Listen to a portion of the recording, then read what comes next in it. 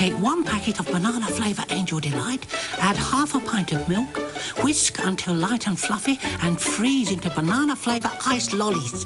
Angel Delight, much more than a dessert. Hmm, I think I'll just tidy this up. Yes.